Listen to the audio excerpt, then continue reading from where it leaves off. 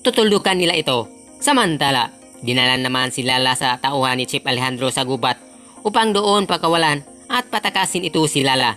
Sa kabalang banda, masayang masaya naman nag-iinuman si Nalyuna, Ulga at Sophie dahil sa kanilang partnership sa negosyo. Si Dunya Cielo naman nakalabas na sa hospital at nakauwi na ito sa mansyon. Nakita naman ni Dunya Cielo si Luna kaya tumayo siya upang sugurin si Luna. Dahil trader na ito, ngunit bumagsak naman si Dunya Cielo sa sahig. Tuwang-tuwa naman si Luna habang tinitigan niya ang matanda. Kaya ito ang dahilan magagalit na naman si Aidan sa kanyang ina dahil masahol pa daw ito sa kanyang daddy ang kanyang ina.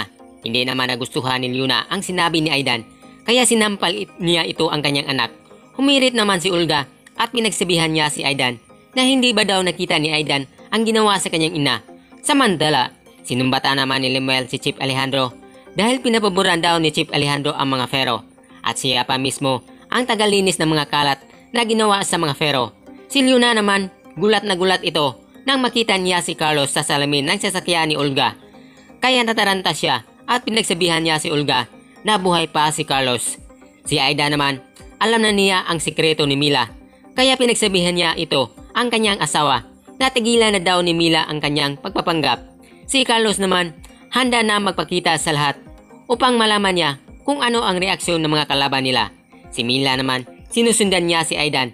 Laking gulat naman ni Mila nang matuklasan niya na buhay pa ito si Carlos at tinatago ito ni Aidan. So yan ang ating subaybayan sa susunod na Dirty Linen. Thank you for watching guys.